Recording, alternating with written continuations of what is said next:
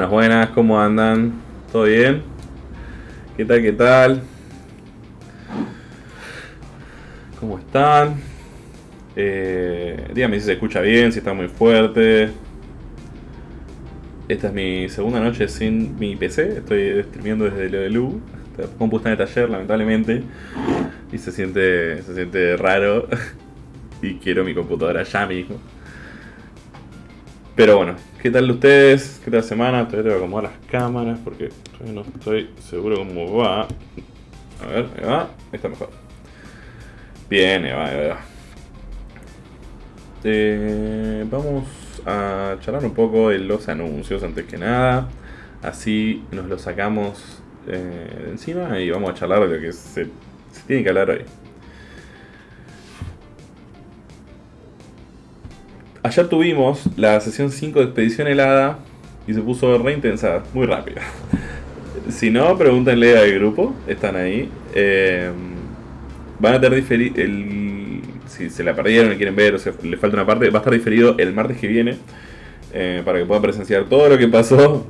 Que eh, fueron muchas, muchas cosas. Hoy va a estar disponible en, ahora durante esta noche el último DM responde que tuvimos hace muy muy poco.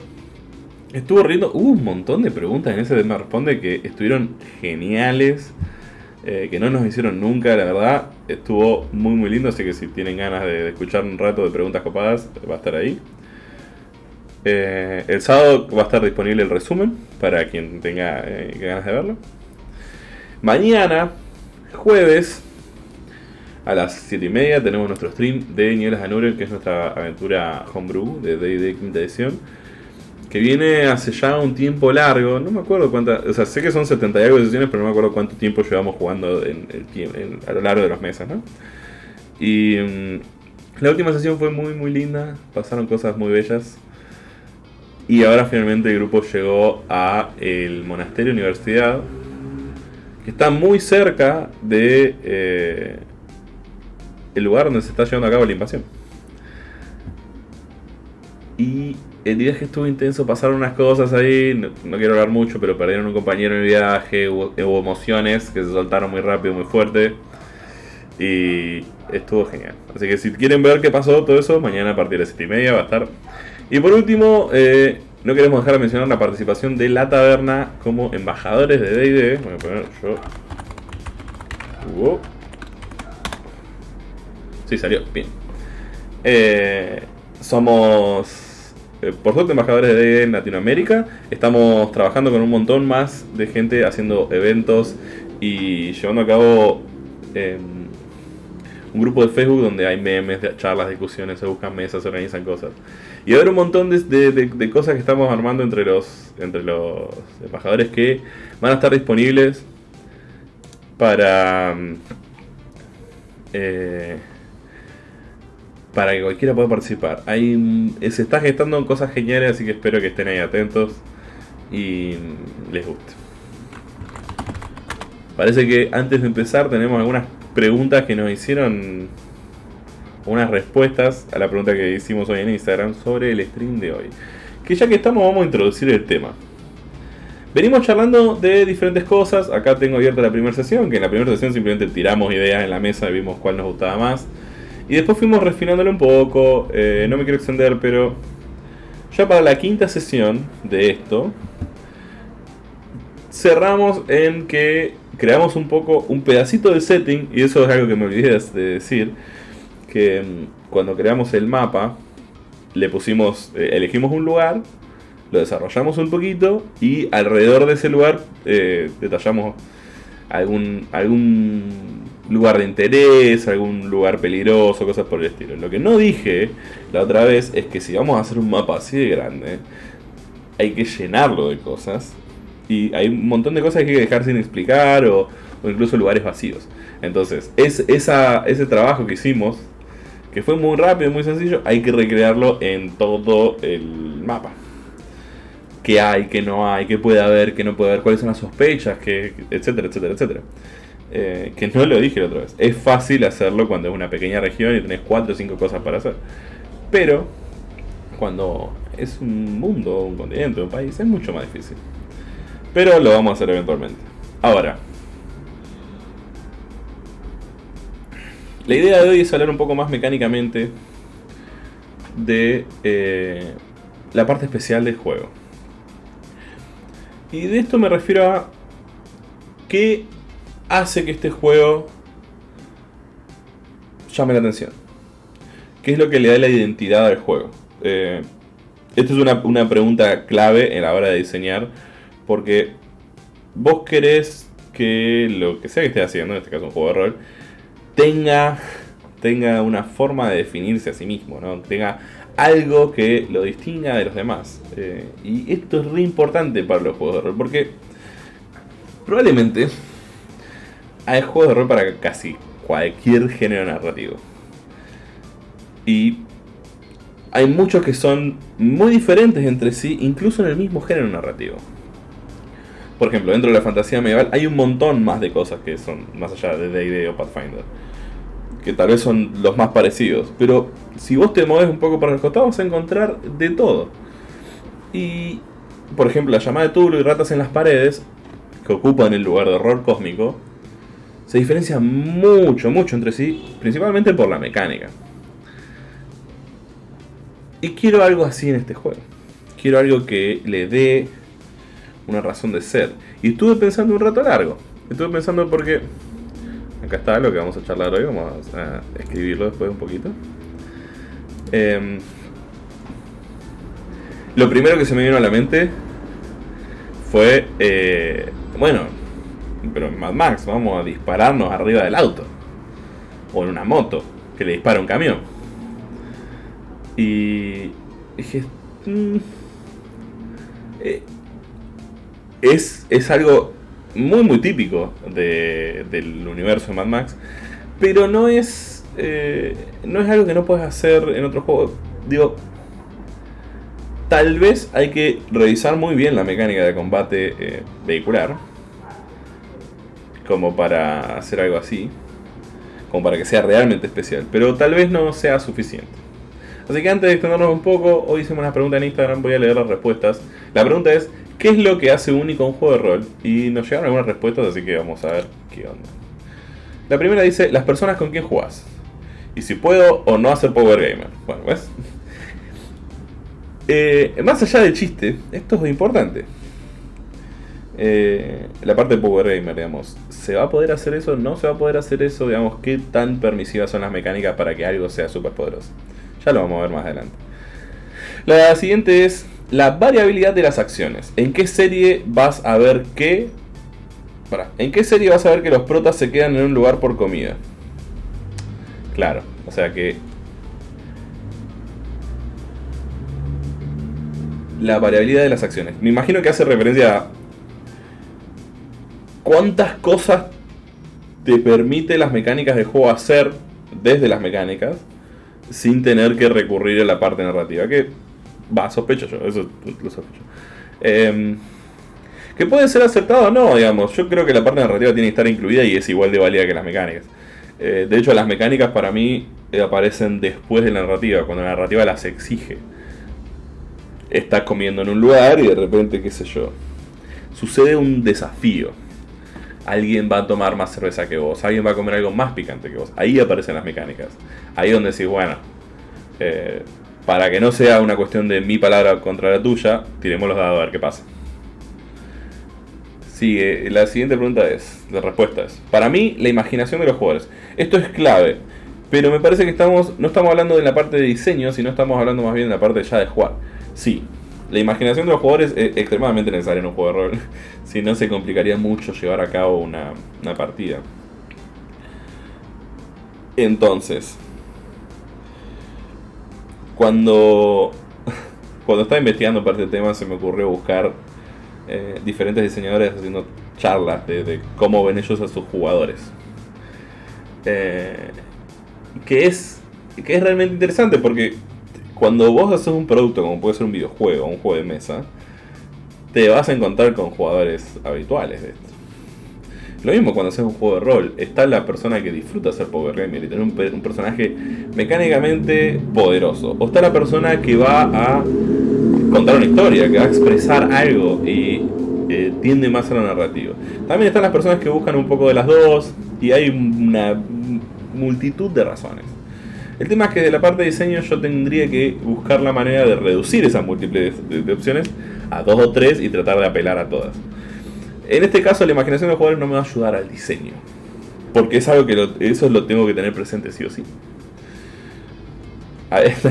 La libertad, la siguiente dice, la libertad total de crear infinitos personajes, historias y mundos. Sí. Eh,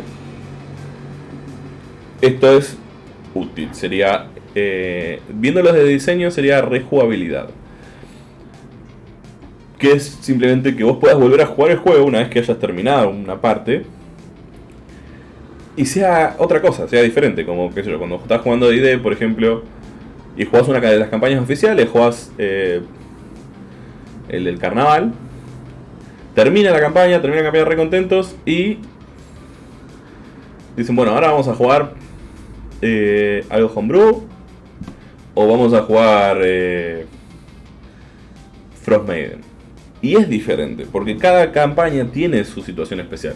La del carnaval, por ejemplo, va en el mundo de las hadas, y Frost Maiden es como mucho más oscura y terrible. Y se separan lo que va a jugar. Incluso cuando termina Frost Maiden puede decir, ¿saben qué? Ahora vamos a jugar otra aventura. Y hay rejugabilidad, de eso se trata. Eh, ahí también hace hincapié en crear infinitos personajes, historias y mundos. Eso está bueno porque muchos juegos de rol tienden a, eh, a, crear un setting, que es lo que estamos haciendo nosotros también. Vos creas el setting, lo tirás ahí y después haces todas las mecánicas. Y después haces eh, pequeñas reglas o pequeños pasos de cómo crear estas mecánicas para aplicarlas a tu mundo. Ahí le estás dando un espacio a que se creen otras cosas. Es importante tener en cuenta eso. Y la última que tenemos dice, para mí cualquier detalle del setting que lo distinga de la alta fantasía clásica. Eso, es lo que queremos hacer hoy. Em, no quiero... Eh, este mundo de Mad Max, este en el que yo me estoy imaginando que estamos creando, para mí la fantasía clásica eh, no va. Si aparece una espada, vamos a tomar un poquito de agua. Gracias por el canje. Si aparece una espada tiene que ser igual de irrelevante que si la persona hubiera agarrado cualquier otro arma cuerpo a cuerpo. Em, esto es algo que notas en las pelis, digamos sí, a veces se quedan tipo charlando, hay algún tipo de reacción cuando alguien saca un arma más grande, pero no dura mucho, porque hay que sobrevivir de ese arma. Eh, entonces, el efecto de, de, sacar un arma, un hacha por ejemplo, no es tan imponente como en otro juego. ¡Ey! Gracias por eso, Gara, que grande. Entonces, Sigamos. Em, sí, gracias por eso, qué grande. Tenés dinosaurio. ¡Ey! Tenés el dinosaurio de, color azul. ¿Dónde estaba? Cierto, en, en, el tema de las armas. Y la fantasía clásica, como aquí, a mí no. Es justamente la razón por la cual nos fuimos tan a un lugar tan alejado como es Mad Max o las otras opciones que teníamos. Queríamos algo diferente, queríamos algo que eh, yo creo que sin magia, acá no creo que haya magia o, o, o, funcione similar a la magia. Creo que es todo más mecánica y, eh, voluntad por sobre cualquier otra cosa. Eh, entonces hay que buscar eso que lo hace especial. Tal vez Ah, eso lo dijo Bachi, sí. Gracias a todas las personas que respondieron la pregunta que dejamos en Instagram por sus ideas. Me encantaron. Espero que lo sigamos haciendo porque son re útiles. Ahora sí, ¿qué es lo que va a hacer especial este juego conforme a los demás? La primera opción que yo tengo es combate vehicular. Yo creo que eh, lo que me imagino es, hey, che, ¿querés jugar Mad Max? Uh, dale, tipo, nos vamos a subir un auto y vamos a dispararnos entre camiones y, en un puente. Sí, se puede hacer todo eso.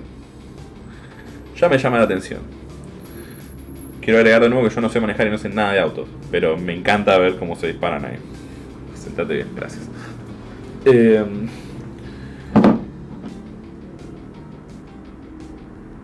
ahora, el combate vehicular es una de las cosas que pueden ser. Em, por ejemplo, si jugamos Leyenda de los Cinco Anillos, para quien no jugó es un, es un tiene un setting basado en Japón, China, Mongolia, toda esa zona del mundo en la época feudal y es y es algo que está muy marcado. Lo ves en las armaduras, lo ves en las armas, pero también lo ves en los protocolos eh, ceremoniales que tienen si vos jugás Leyenda de los Cinco Anillos, te vas a encontrar que todo eso está absolutamente plasmado en el mundo, constantemente.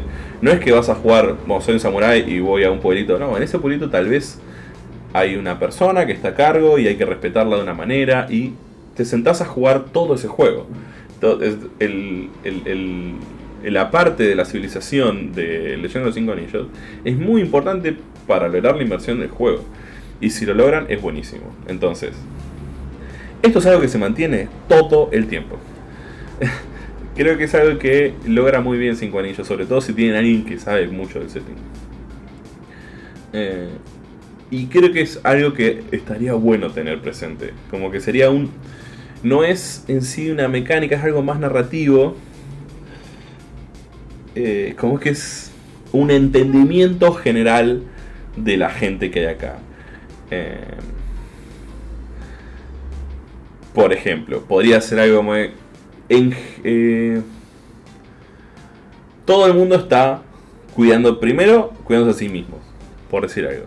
Suena medio egoísta y bueno. Lo cierto es que es un poco así la peli. No, las traiciones, que no hace falta que sea una traición de, de te apuñalo por la espalda, pero las traiciones suceden. Lo vemos en las pelis, lo vemos en los cómics de Mad Max. Entonces es algo que tal vez se podría esperar de, eh, de un juego así. También es algo que tal vez aleja a la gente del, juego. No, está mal eso. ¿eh? Eh, por ejemplo, hay juegos que tratan temas muy oscuros como Cult, que se llama... ¿Cómo se llama? ¿Cuál es la...? Tiene un eslogan.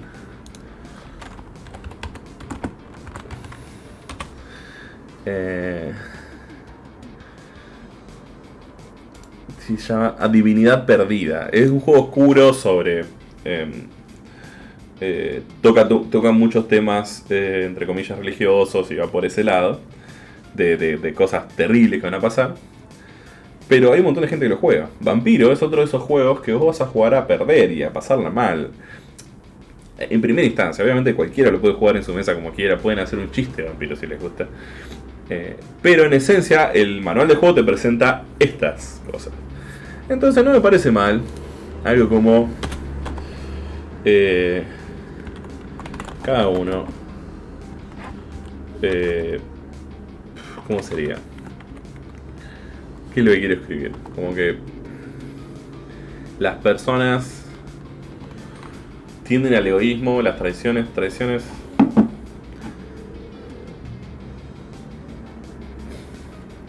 no me está saliendo. eh, es algo como... Eh,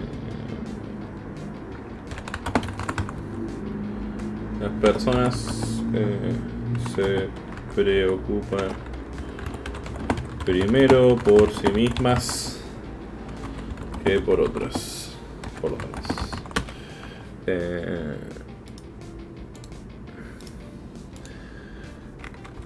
En general, todos tienen motivos ocultos para sus acciones.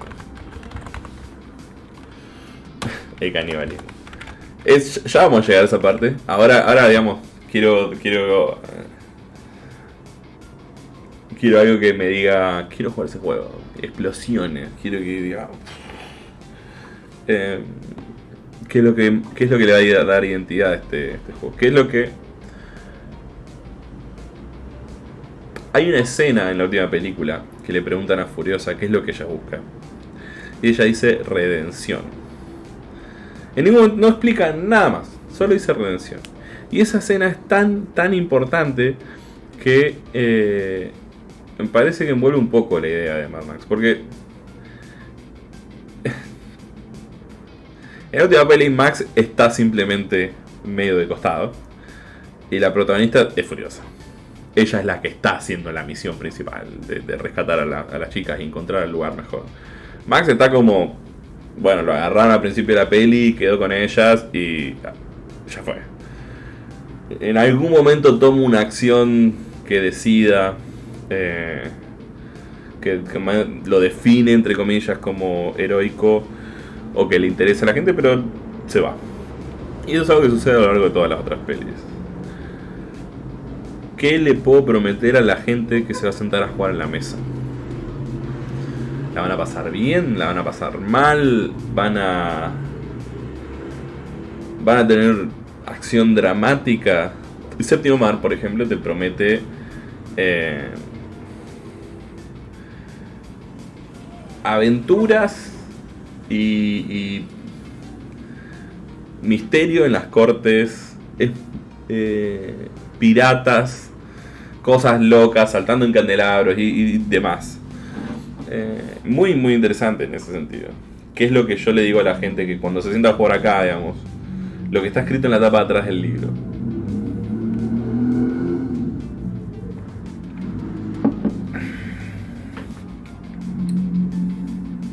Esta parte es difícil. Esta parte es re difícil.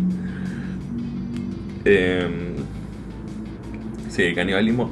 Imagino que hay, pero no. Después habría que ver qué reglas se hacen en base a eso. Saben que estoy leyendo combate vehicular y no me de, se me viene la cabeza rápido y furioso todo el tiempo. todo el tiempo. Eh,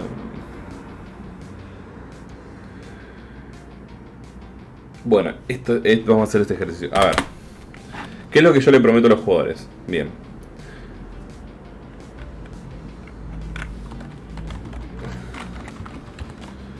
¿Qué les prometo a los jugadores? sí, no, es las dos, Johnny, las dos cosas. Eh, ¿El ruido del auto es parte de la ambientación o el sonido de la calle? Las dos. Eh, ¿Qué le prometo a los jugadores? ¿Qué haría un grupo de aventureros en este mundo? ¿No? Eh, en D&D salen de aventuras, van a rescatar castillos y subirse a carreta y tirar magia. En la llama de Tulu van a investigar cultistas y misterios, objetos extraños, alienígenas, eh, horror cósmico. En... Se me fueron todos los nombres de todos los juegos. Eh, tratarían de no morir. Bien. Sobre... En un mundo hostil. Eso, eso ya lo sabíamos. Sobrevivir en un mundo hostil.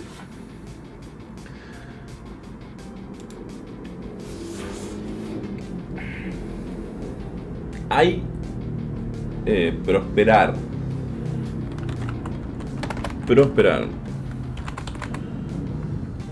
Voy a poner como puse yo. Prosperar, porque me gusta hacer prosperar. Eh, de hecho, es lo que querían Ahí se fue. El ruido de ambiente. De hecho, es creo lo que querían las, las esposas de Immortal Shock. Ellas querían. salieron de ahí buscando algo mejor de lo que, de lo que pueden encontrar. Y es válido también en este mundo.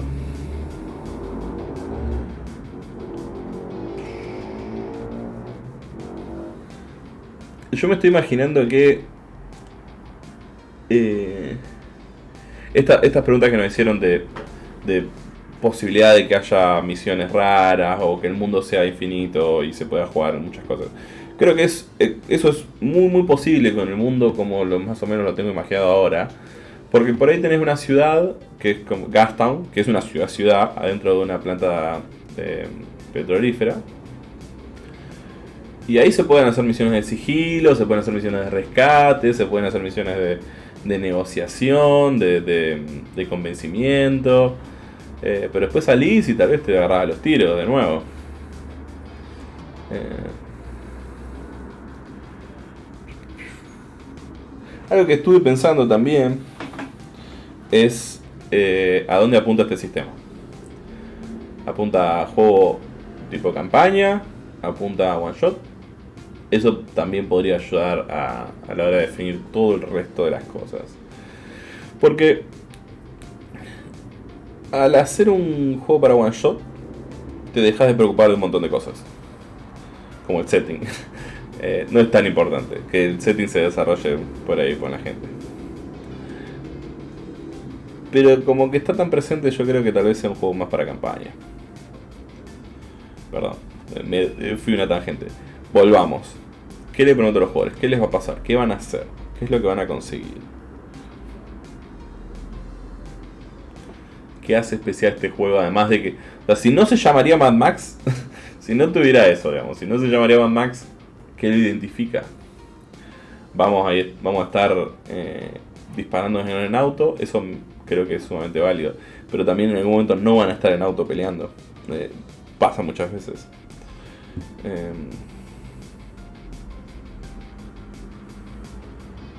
no solo eso, a veces hay peleas cuerpo a cuerpo en el auto cuando está arriba del techo. Pánico y locura en el desierto. Me gusta eso. Pánico y locura en el desierto. Creo que va por ahí, ¿eh? creo que va por pánico y locura. Eh, sobre todo locura. Eh, nostalgia me gusta. Nostalgia del viejo mundo. Porque... Em, ¿Entrará todo? más o menos. Porque este, el combate vehicular de Mad Max tiende a durar más que un choque. Más que. Más que muchas películas de acción en auto. Acá, digamos, se disparan, se chocan, saltan, se apuñalan, aparece una sierra eléctrica, hay una trampa en el camino, se esquiva la trampa. Em, aparece un tipo arriba de un palo que está siendo sostenido por un alambre girando en un tractor. Eso es lo que estamos haciendo. Combate vehicular extremo. Ahí está. Todo tiene que ser lo más pasado del mundo. Eh, mi problema con esto es que como que se esfuerza un toque a que estén arriba del auto la gente. Y me preocupa eso porque eh, no siempre van a estar arriba del auto, incluso a la gente que le gusta estar ahí eh, arriba del auto. Em, sino que hay gente que directamente no va a jugar por esa parte. tal vez le interesa la otra, o tal vez está tan presente esta parte que no les interesa el juego. Em, eso, eso me hace ruido.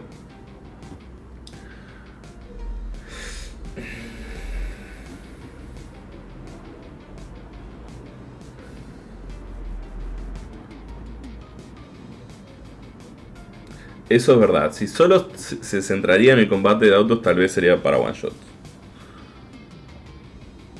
Em,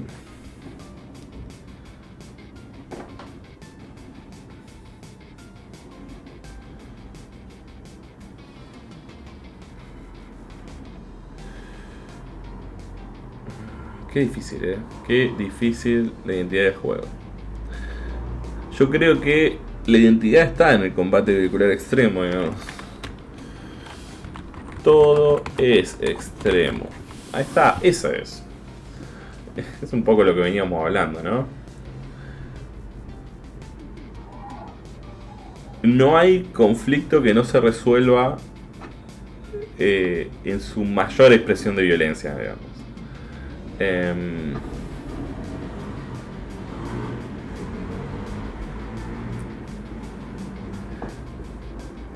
¿Qué, puedes, ¿Qué puede resolver esto? Un paro en la cabeza ese tipo. Bueno, eso es una forma de resolverlo.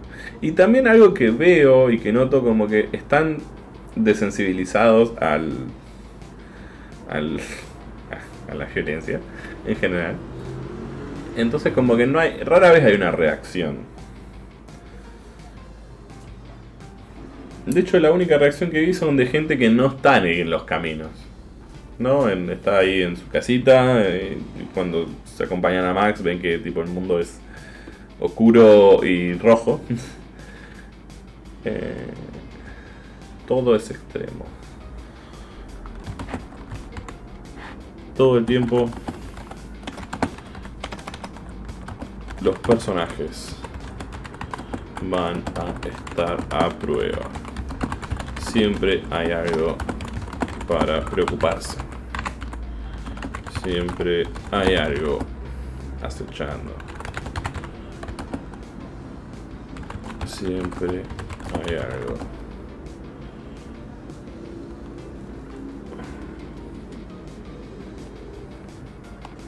Que falta.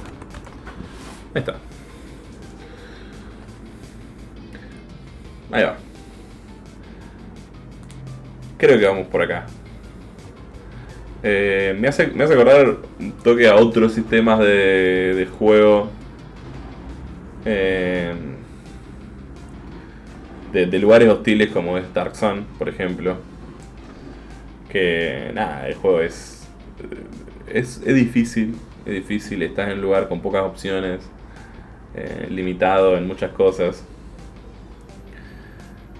Pero como que siempre está el interés de seguir adelante, siempre está esto de eh, tengo que sobrevivir, tengo que sobrevivir. Por lo menos de los personajes protagonistas, que él lo que uno esperaría de los jugadores. Eh, yo creo que va por acá. Extremo. Extremo es la palabra. Este juego es intenso.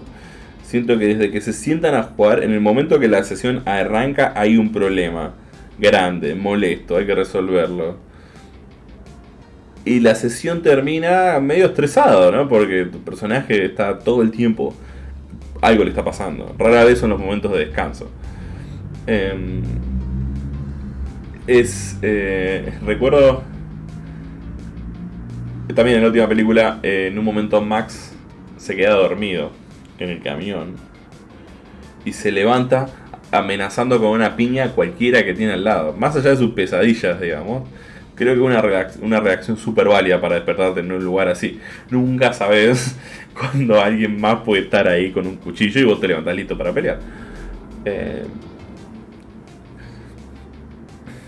Creo que sí.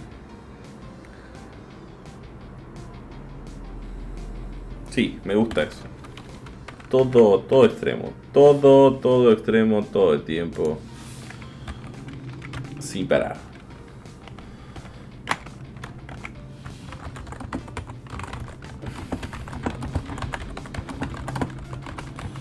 Así. Entonces yo lo que le voy a prometer a la gente que se va a sentar a jugar este juego es... Esto va a ser estresante, eh, complicado y va a estar lleno de problemas.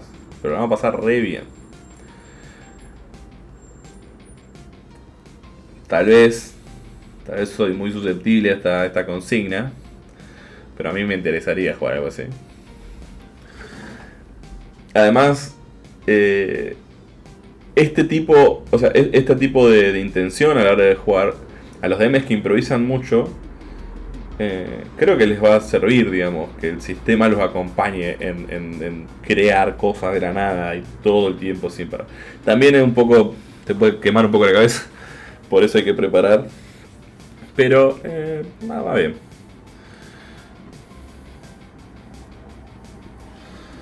Yo creo que eso sería todo extremo, todo el tiempo sin parar, creo que es la frase que va a... Eh, a resumir todo. Si falta, tipo, si... Supongo, si no... Si falta agua. No es que falta agua. Están deshidratados hace una semana. Los personajes se la van, cansados de sobrevivir sin agua acá. Bueno, pero ya pasó una semana. ¿Qué vamos a hacer? Eh, el efecto de, la falta de, sueño, de comida y de agua empieza a irritar a la gente y ya no se banca cualquier cosa. Eh, si viene alguno de los compañeros y hace alguna estupidez, tal vez sea momento de reaccionar de manera violenta. Sí, sí, sí, estoy de acuerdo.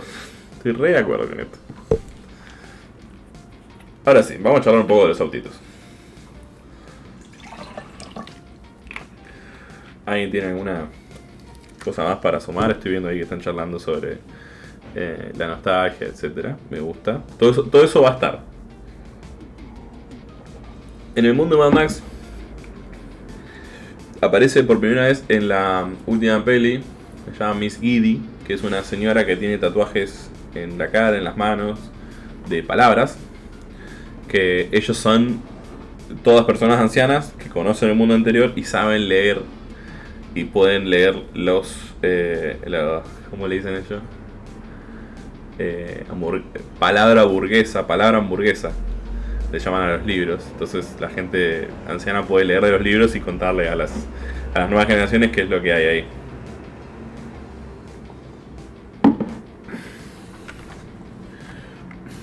Eso me gusta, ¿eh? Sacrificar. Esto lo habíamos charlado antes.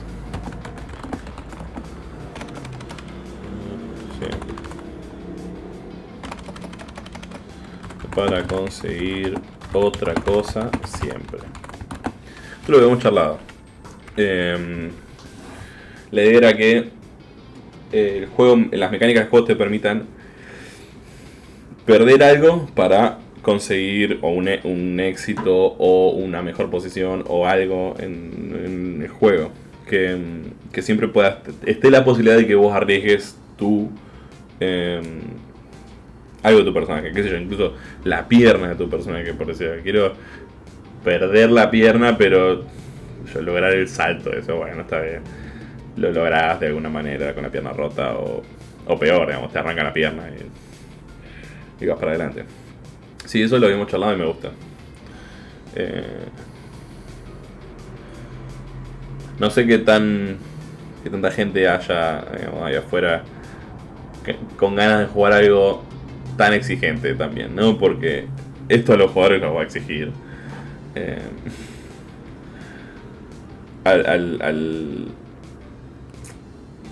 cuando vos jugás otro juego más relajado, incluso los juegos que son estresantes. Eh,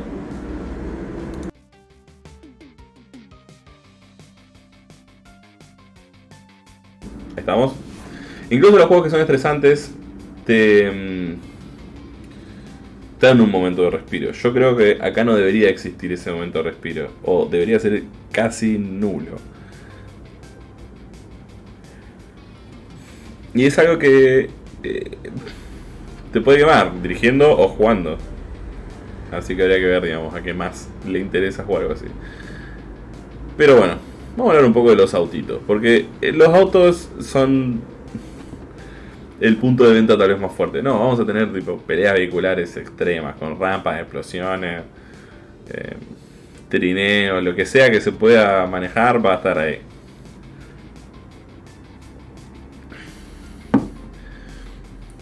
me gusta esto especial que tenemos ya todo extremo todo el tiempo. Los personajes van a estar a prueba. Siempre hay algo para preocuparse. Siempre hay algo acechando. Siempre hay algo que falta. Sacrificar para conseguir otras cosas siempre. Todo extremo, todo el tiempo, sin parar. Ahí va. Eso es lo especial del juego. Eso es lo que, lo que yo le voy a dar a, eh, a la gente cuando juega. Mirá, acá va a estar todo re difícil. Esta, este es un juego para pasarla re mal pero cuando ganen va a ser lo mejor del mundo. Y eso es súper importante porque em, eh, hay un creador de juego del cual hablo cada tanto, se llama John Wick, que creó Cinco Anillos, entre otros, que él dice en una de sus charlas, los jugadores quieren ganar. No importa qué, no importa cómo, quieren ganar. Si, si llegan al final de la aventura con un brazo menos, con un ojo menos, llenos de cicatrices y, y rengueando, pero ganan, no importa nada. Y eso es súper clave a la hora de, celebrar las victorias. En la última película lo vemos perfecto. La gente los recibe ovacionándolos, todos se liberan, hay suena música. Eh, por primera vez en la peli se siente un momento de esperanza. Y creo que eso es súper importante para remarcar en alguna parte del libro. Acá no. O del PDF. ¿Qué es lo que debería pasar en las celebraciones? Porque en un mundo tan terrible, cuando algo sucede bueno, cuando es bueno, cuando algo pasa y, todo y mejora de alguna manera la vida de todos, se tiene que celebrar con ganas.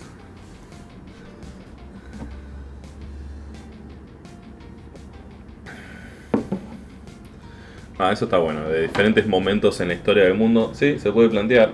Así está más o menos en las pelis. Y estoy seguro que alguien en algún lado hizo una línea temporal del mundo eh, Mad Max como para facilitarla. A ver, voy a buscar ahora rápidamente.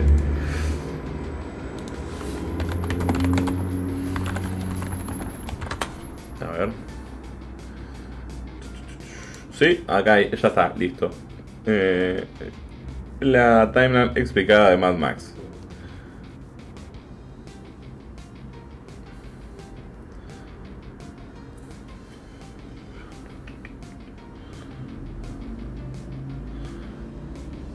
A ver qué nos dice esto. Eh, la primera es al parecer en los 80. La segunda también. La tercera ya estamos en los 90 y algo. Y en la última estamos en el 2050. ¿Cuántos años tiene Max? Todos, no sé. eh,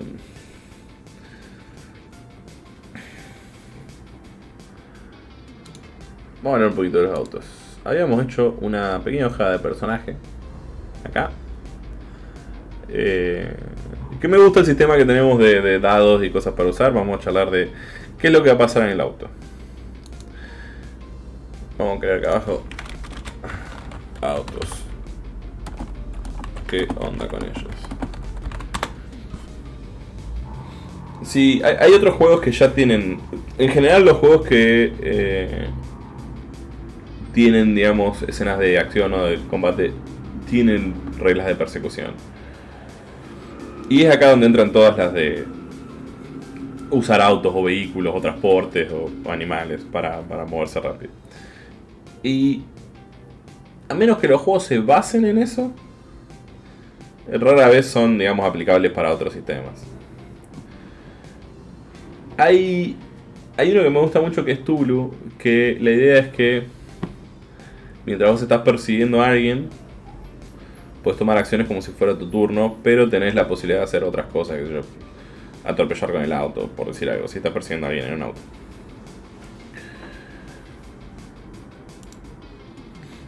Otro que me acuerdo es Crash Pandas. Creo que era Crash Pandas. Que en ese juego el grupo entero son eh, mapaches que están manejando un auto entre todos. Hay uno tipo manejando que está moviendo el, manubrio, el otro el volante, el otro está en la ventana, mirando por la ventana y pasando las, lo que ve. Hay otro en los pedales, bueno. Crash Pandas es un gran juego para one Y si no me equivoco, creo que era Crash Pandas que se jugaba con un tablero que era, vos ponías un autito y ibas poniendo cosas diferentes que pasaban tipo obstáculos.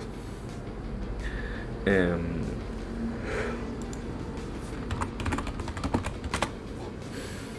no estoy seguro Eh,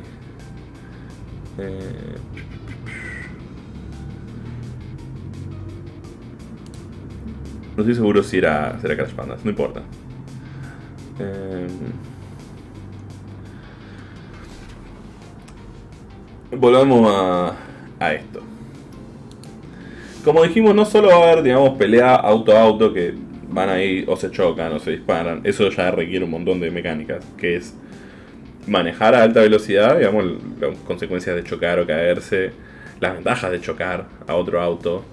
Eh, y ahí entran en juego, hay que crearle tipo hoja de personaje a los autos, porque van a ser modificados, van a tener defensas, van a tener un montón de cosas los autos que hay que trabajar. Eh, pero ¿cómo, ¿cómo sucede un turno, una acción, una ronda, lo que sea, en el combate vehicular? ¿Cuántas acciones puede tomar el... ¡Ey! Tómate 20, gracias por el rey, qué grande. Eh, estamos hablando de crear juego de rol, hoy estamos hablando de, de la parte especial del juego. En nuestro... Mm, en este stream estamos... Eh, la idea es crear un juego de rol en el mundo Mad Max y ahora estamos hablando de los autitos. Justo los autitos. Entonces, algo que pasa con eh, los vehículos y, los, momentos de acción es que depende de la posición que ocupen en el vehículo. Esto, esto es medio común a, muchos juegos. De hecho, ahora estoy pensando en DD. Creo que es en Avernus que están las máquinas del, del infierno. Bueno, que tenés la persona que maneja, la persona que usa la torreta, la persona que usa que se asoma para disparar y cosas por el estilo. Y em, acá pasa lo mismo, digamos. ¿Qué acciones puede tomar el conductor más allá de manejar? ¿Qué, eh, ¿Qué, acciones puede tomar la persona acompañante más allá de disparar? ¿Qué acciones puede tomar la persona que va atrás? Y así. Si vamos a hacer un sistema que sume esto, hay que darle posibilidades de actuar a esta gente. ¿Qué quiere hacer? Que lo haga. Que consiga una manera de... Em, de ejecutar su plan arriba del auto a 100 por hora mientras otra persona le está disparando de otro auto.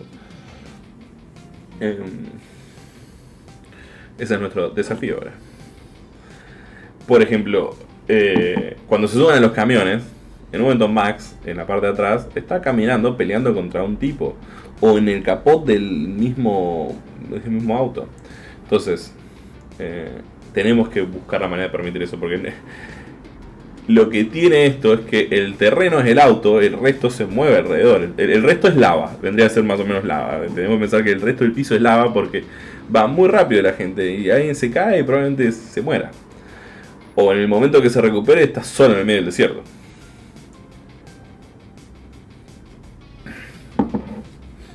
Ponemos con autitos. Queremos. Queremos. Disparos. Explosiones. Armas cuerpo a cuerpo. Armas eh, modificadas. Choques. Saltos. Eh, ¿Hay algo más que pueden ser otros?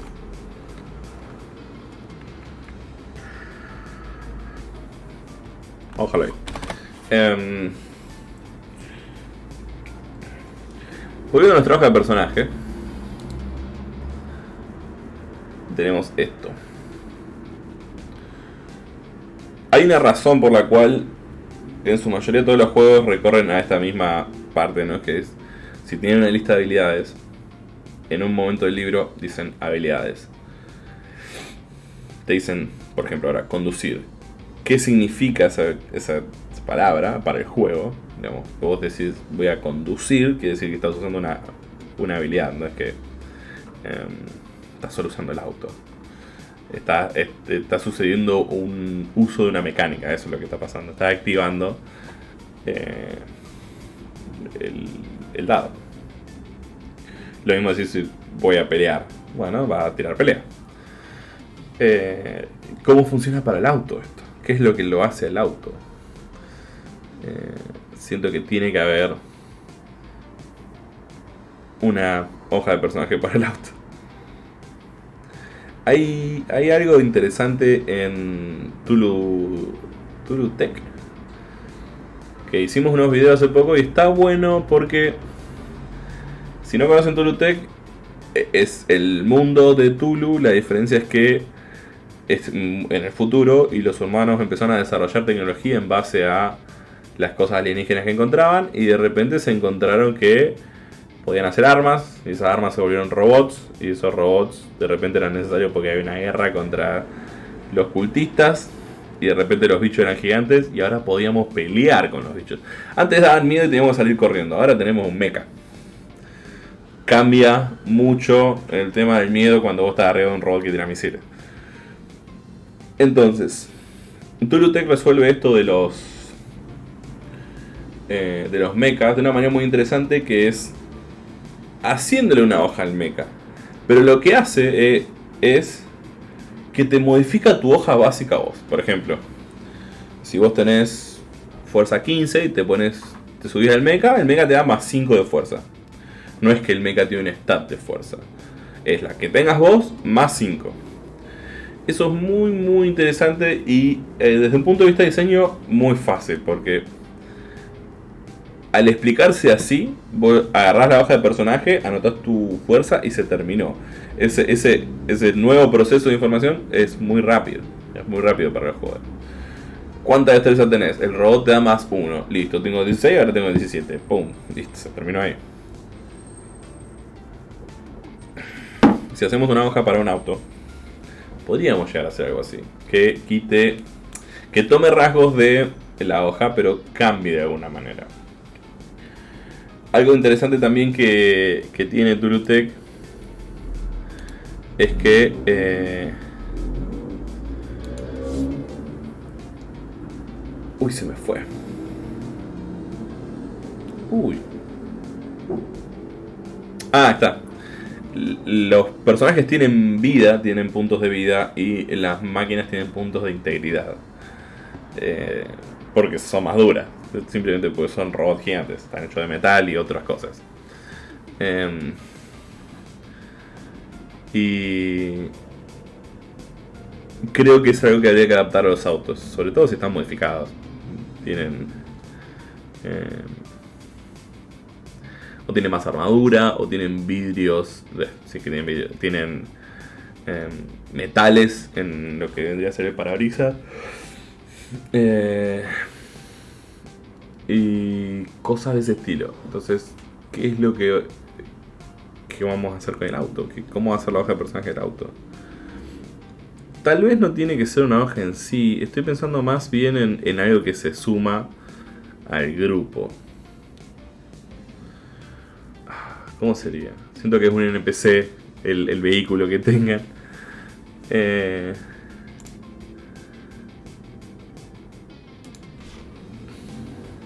tendría que, vamos a anotar acá, crear Hoja de personaje del auto. Bien. Del vehículo. Porque a veces van en otras cosas. Entonces.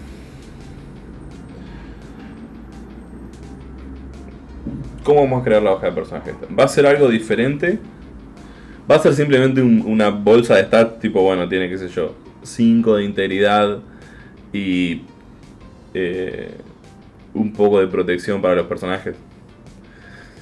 Sí, no, a mí me da un poco de cosa eso, que se, siente medio feo, sobre todo porque hay unos autos que tienen, em, tienen como posiciones, ¿no? Tipo, lanzan arpones, o están esos tipos que se mueven los palos así para sacar gente, el, el bardo tocando la guitarra, era un camión dedicado para eso. Eh, tenían habilidades especiales los autos. Entonces, hacerlo solo un, un cosito que tenga eh, stats me parece muy aburrido. Hay que hacerle algo mal, algo diferente.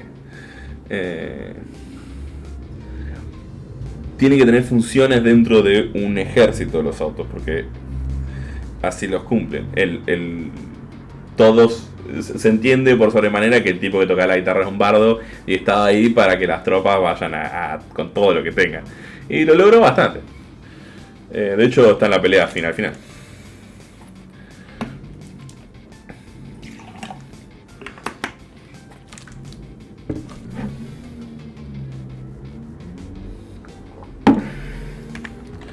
Los autos tienen. No, los vehículos. Eh, los vehículos tienen que ser especiales.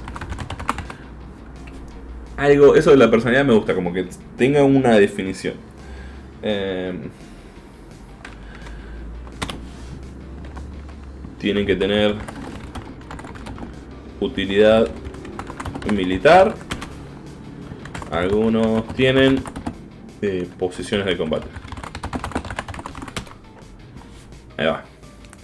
Sí, de hecho los, todos los autos de Magma tienen, tienen nombres. El de Max se llama Interceptor, si no me equivoco. Eh, estaba el. Está, todos los nombres están en los cómics.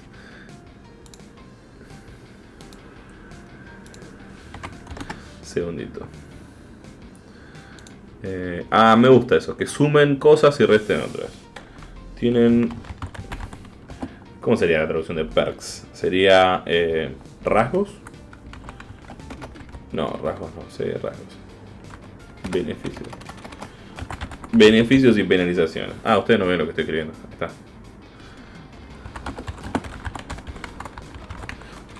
O ventajas y desventajas. No, está.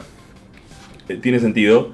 Por ahí si vos vas en un, en un camión de transporte te vas a mover muy lento, pero vas a estar muy defendido. Eh, porque está bueno que el camión de transporte se la banque. Em, ahí está, esas cosas sí. Em, reglas de manejo. Siento que se puede hacer eso para una tabla, sobre todo para ayudar al DM o a la persona que dirija, ¿no? Porque parte del, texto que tenemos que hacer tiene que estar dirigida para la persona esta que se va a encargar de contar la historia, ¿no? Y le tenemos que dar ideas y opciones y herramientas para que cuente lo que sea. Em, a ver.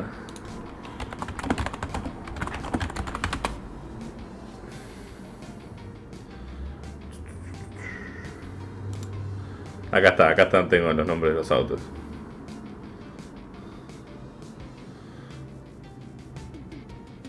El auto de Nux se llamaba...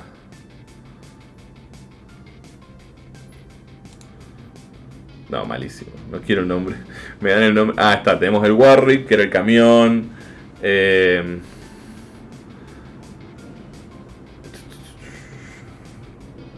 El de Max es el Interceptor. Hay, un montón de cosas más. El problema es que me están dando los nombres de los autos que usaron para... Claro. Yo no quiero los nombres de los autos, yo quiero los nombres... Ahí está. El Warwick. El auto, este, este, es el que no me acordaba. El auto de Immortal Show, el del final, ese que son como dos autos arriba y está como levantado, apuntándose abajo, se llama Giga Horse. Eh, el Doof Wagon, o sea, el, vagón del Doof Warrior se llama Doof. Bueno, y así hay un montón más. Creo que es importante anotar. Eh, tienen que tener nombre. Como ves, no, no, es necesario que tengan nombre por una cuestión por una cuestión específica, pero es como cuando un cuando un paladín le pone nombre a su espada o cuando o, similar, ¿no? ¿no? hay razón para que tu caballo no tenga un nombre. El caballo de Witcher que se llama Roach o cucaracha o, no me acuerdo cómo es en español, español. Em, tiene que tener me gusta lo de la categoría. Categorías. Porque. Primero sigamos con el nombre. Tiene que tener nombre. Tiene que. Además el nombre capaz se lo puede poner en el grupo. Puede ser un momento de decir, no, este. Este es el arponero. Y cada vez que usan el arpón les va bien. No saben por qué. Tipo, cosas del destino. De, que los dados salen bien. Sardinilla se llama en español. Gracias. Eh, y ahora lo de las categorías o clases está bueno porque no todos los autos van a tener las capacidades de tener todas las cosas. No importa que quieras poner, qué sé yo, un lanzallamas gigante si estás manejando una moto. No lo vas a poder hacer. Lo van a intentar probablemente los ingenieros de este mundo, pero va a haber muchas complicaciones. Probablemente la moto la uses una sola vez y eh, se termina tu personaje ahí. Pero es interesante esto. Podemos tener varias categorías de autos. Los por suerte hay mucha documentación sobre los autos que usaron para Mad Max y en los cómics están eh, y todas las otras cosas que, son necesarias. El, están todos, sí, sí, están todos, perfecto, listo. No, no, no voy a hablar mucho más de ellos. Perfecto, vamos a cerrarlos.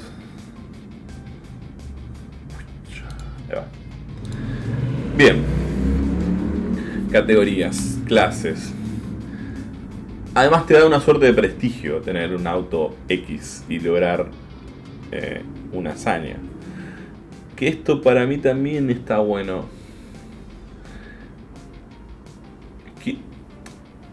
andar en auto a los tiros contra otros y eh, tener una suerte de guerra vehicular está bueno, pero también siento que el vehículo va a formar una parte integral del grupo y estaría bueno que pueda conseguir algún tipo de hazaña, que logre que el, que, el, gracias al auto puedan hacer algo más que transportarse y pelear nomás o tener un lugar de refugio. Quiero que em, que les dé la posibilidad de algo, de, una cuestión épica, de una cuestión narrativa de eh, con este auto saltamos el Gran Cañón mientras nos perseguían todos y nadie sabe cómo lo logramos porque no teníamos nafta, teníamos, nos faltaba una rueda y este auto anda a 60 máximo, una cosa así. Eh, subir de nivel puede ser. Vamos a anotarlo. el auto. A anotar bien las palabras, que está bueno tenerlas anotadas bien.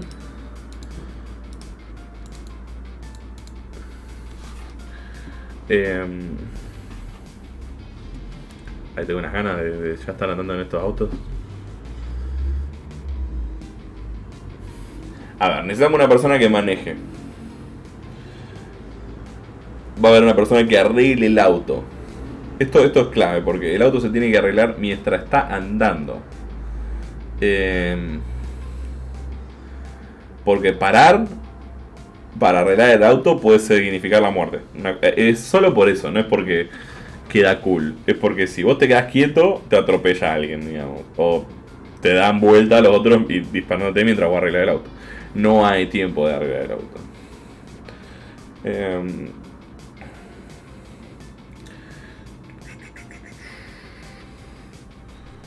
puede ser?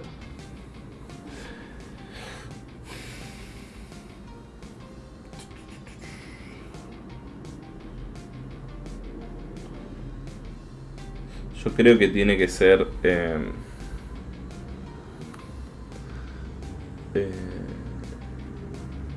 esto que decíamos de nombre, categorías, también debería tener... Eh,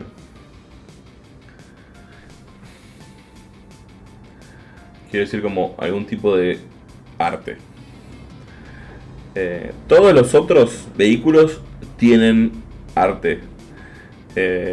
Eh, no muy entre comillas, entre todas las comillas que se puedan. Creo que el que no tiene es el auto de Max, pero todos los demás, sobre todo los de la Ciudadela, tienen. o logo de Immortal Show, o calaveras pegadas al Warwick están pintados de algún color especial. Los volantes, el volante.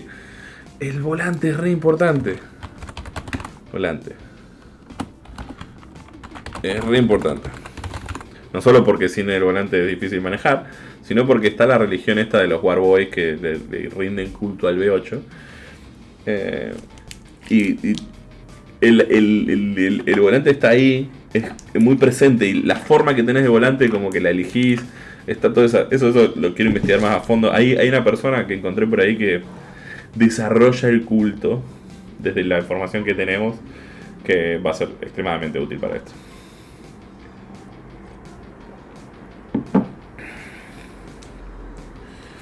Em,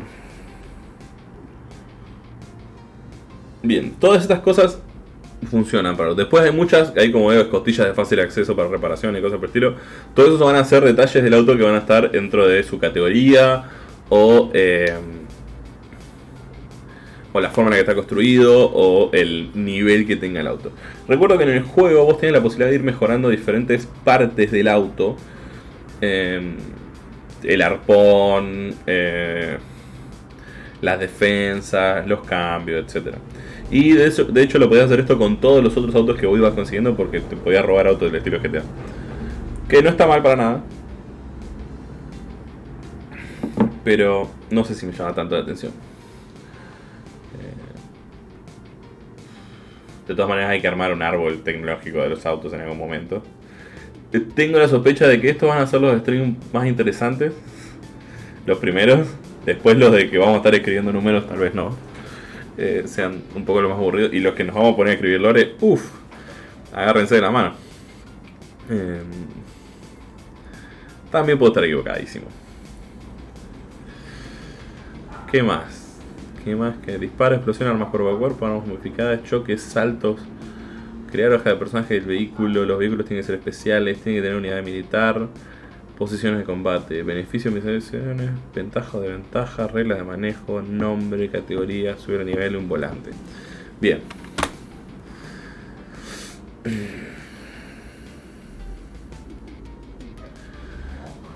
A ver.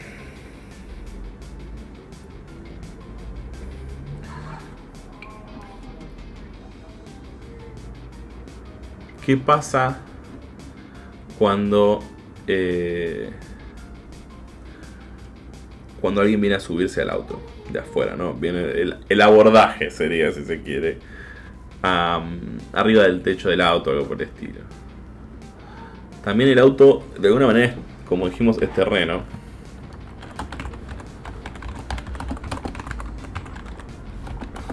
El resto es la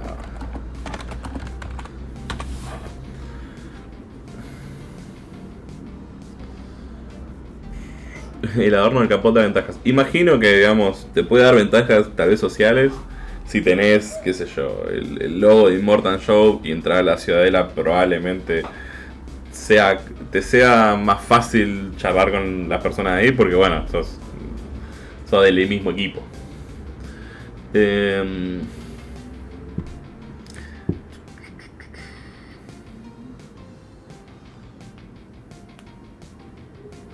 Ahora vamos un poco más a la parte dura, en lo que queda de tiempo. ¿Qué es? ¿Cuál es la parte más importante para que el auto funcione? Tenemos. Y, esto acá estoy imaginando porque no tengo ni idea. Imagino que es el motor y la nafta. Eh, para que funcione la parte mecánica.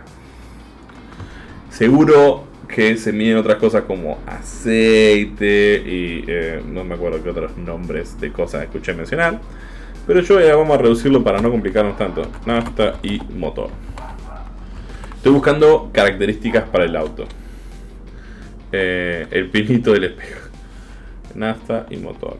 Em, chasis, que vendría a ser toda la parte metálica de afuera. Y, el armazón. Eh, velocidad. Velocidad.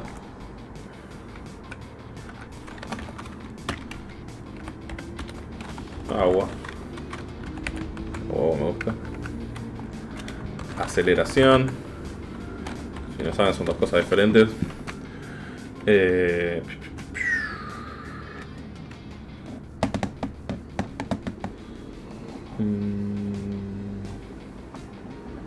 Ah, está, eso del agua me gusta, exactamente por eso, porque puedes tomar agua vos o que tome agua el auto. Si vos tomas agua, el auto no se mueve.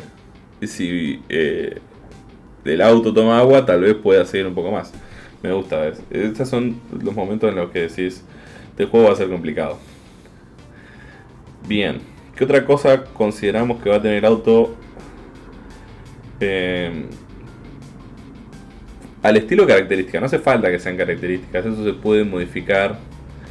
Estaba, em, hicimos el video de... Eh, no me acuerdo qué juego. Ah, no, perdón. No me acuerdo qué juego estaba leyendo, pero en vez de tener características por estructura o por personaje, tenía 4 o 5 eh, modos de accionar. Que eh, tipo con violencia, con cautela, con cosas por el estilo. Y eh, con eso resumía todo el sistema, digamos. Depende de cómo vos querías eh, llevar a cabo tu acción, es lo que vos recibías. Por ejemplo, el juego de, Avatar Legends, cuando vos entras en combate, lo primero que definís es cómo tu personaje se va a acercar al combate. Va a ir a romper todo, va a estar defendiéndose, eh, o va a estar esquivando golpes y buscando una manera de irse. Después de eso, una vez que se declara todo eso, entran todas las acciones. No está mal eso, no está mal. Eh, los juegos que tienen características tienden a eh, ser muy similares en este aspecto, tener una característica, después una habilidad, algo se suma con otra cosa y se tira. Eh, de por ejemplo, que si yo tenés atletismo, tirás fuerza, si sos competente tirás eso y después tenés otros posibles bonificadores.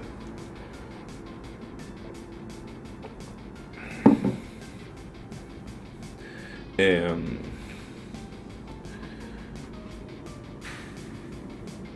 ¿Se acuerdan? Eh, tal vez les pasó a jugar en algún videojuego que tiene una armadura o que tiene un auto que cuando les pegan en una parte se empieza a poner de color naranja, amarillo, rojo, eh, que se va rompiendo. Eso también deberíamos reflejarlo. De alguna manera. Estoy. Eh,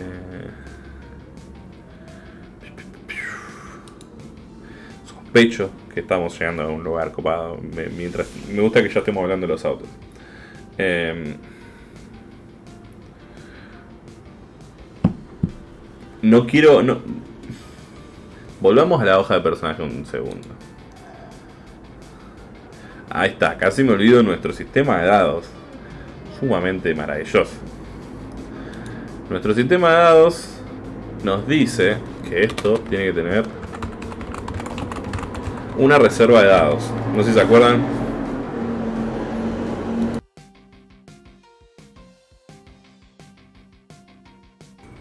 Ahí está muchos fanáticos de Max afuera.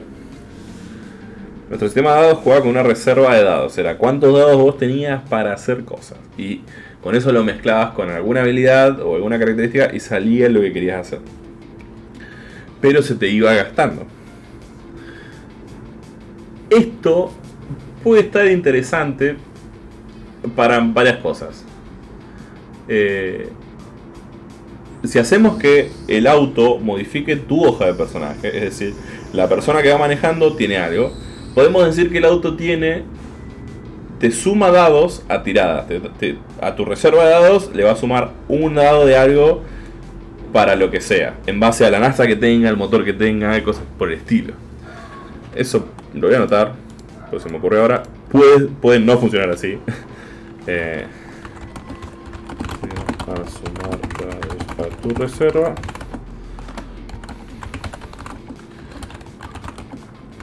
este dependiendo cuántos stats tenga tenga y que tan eh, arreglado este ese stat es decir si vamos a tirar, qué sé yo, eh, vamos a chocar a otro con el auto y vamos a exponer al chasis, ¿no? Porque es lo que va a recibir el golpe. Em, tenemos el chasis intacto, o sea que nos da, qué sé yo, tres dados si queremos gastarlos.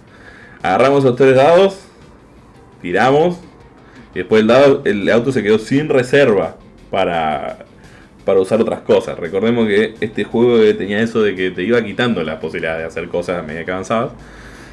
Pero si hacen, salen las cosas bien o, muy mal, capaz recuperas dados, cosas por estilo. Esto lo podemos seguir implementando en el auto y me gusta. Eh. Siento, me siento un poco orgulloso de este sistema, estoy contento. Em, volvamos a otra, sigamos acá abajo. ¿Qué otra parte del auto va a ser importante? Eh, puesto de em, combate. 1 X, porque el digo X porque por ejemplo el Warrior tiene eh, toda la parte del camión es un lugar donde puede ir gente disparando, esos son puestos de combate. Eh, la persona que maneja tiene cosas para usar mientras está peleando. Eh, ¿Y qué más? hay otros autos que tienen múltiples capacidades de, posiciones de, de, combate. Por ejemplo, el de Immortan Show tiene un arpón y un lanzallamas. Además de ser un auto brutal, ¿no? Que tal vez te da mucha reserva de dados por muchas razones. Eh, eso. Eso creo que lo habían dicho. No sé si lo habían dicho. Bueno, pero. Tienen que tener una habilidad especial. Algo que. Eh, ahí está, eso era. Una habilidad especial que que los distinga de los demás autos. Por ejemplo, el auto de Nux es muy rápido, es muy chiquitito, muy chiquitito y muy rápido. El... Después hay una escena donde hay donde tienen que atravesar unas piedras que están caídas y hay un solo auto que puede atravesar eso, que es uno que usa Immortal Show. El resto tiene que esperar a que las piedras se liberen y atravesarlos. De hecho, después van a un pantano y hay un solo auto que puede andar por ese pantano. Todos los demás se quedaron ahí atrapados. Eh, eso hace que el auto sea todavía más especial. Tal vez consiguen, qué sé yo, que el auto eh, sea eh, muy estable doblando rápido. Que puede ser algo medio ridículo, pero tal vez el grupo lo puede usar para una táctica de combate. Que yo viene andando, tipo frena y derrapa, tal vez esa es la habilidad de derrapar, y puedes hacer cosas derrapando que dejen a los otros mal parados o te sea más fácil escaparte de una situación donde eh, las calles sean muy cerradas y, haya que girar mucho. Em, entonces eso puede ser interesante. Y... Bueno, creo que hay, hay una buena cantidad del auto, ¿eh? Habilidad especial. Habilidad especial porque eh, la va a necesitar.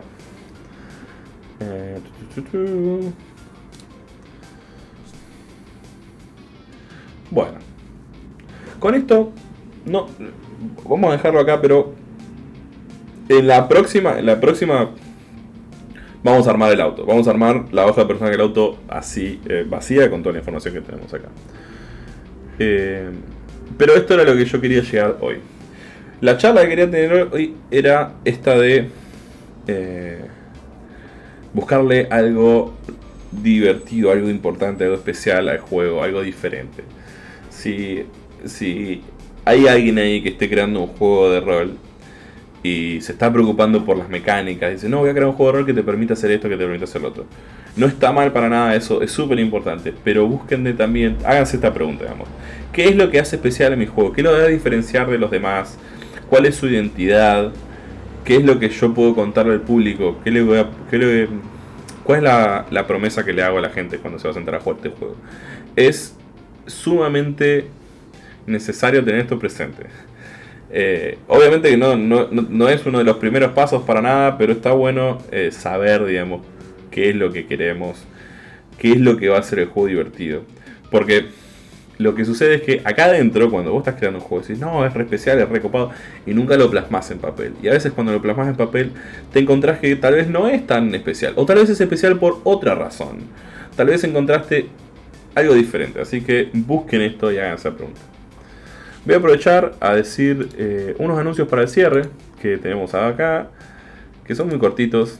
No se vayan, quédense, vamos a hacer una raid y eh, les da muchos puntos quedarse en la raid me enteré hace poquito, así que eh, quiero agradecer a todas las personas que participaron ahí. Mucho chat, muy bien, muchas ideas copadas, se sumaron un montón de cosas al, juego. Ya, ya quiero ver que esto tenga forma de dirigir algo porque no me voy a aguantar más. Pero bueno, en un ratito va a estar eh, disponible el último de Me Responde que estuvo re bueno. Y su resumen va a estar el sábado. El viernes vamos a estar estrenando como cierre de nuestro Happy Hour Shots, la última aventura que jugamos con la gente increíble de Red Roll una escapada de la galaxia a la galaxia más lejana de todas por la mano de Chris. Estuvo dirigiendo Star Wars. Estuvo re divertido, un one shot súper cortito y genial. El domingo se viene una review de Leyenda, el juego de argentino que salió hace poco. Y nos pone muy contento porque es un juego creado muy cerca de acá. Eh, tuvimos la suerte de poder hablar con los, los diseñadores principales y em, nos contaron muchas cosas en su podcast, cómo fue el proceso de creación del juego. Y es hay, un montón de enseñanzas que saqué de ahí, un montón de, momentos de la, de la parte de diseño que estoy aplicando acá. Y fue un, fue un gusto hablar con los chicos, son geniales. Y bueno, mañana nos vemos con Anunem a las 7 y media. Y si no lo vieron, ya tenemos una intro para la aventura que hizo Bachi, que está buenísima. Eh, la estrenamos la sesión pasada, pero mañana también la vamos a mostrar. Así que bueno, no se vayan a ningún lado, los voy a dejar con el outro y vamos a hacerle raid a alguien. Chao.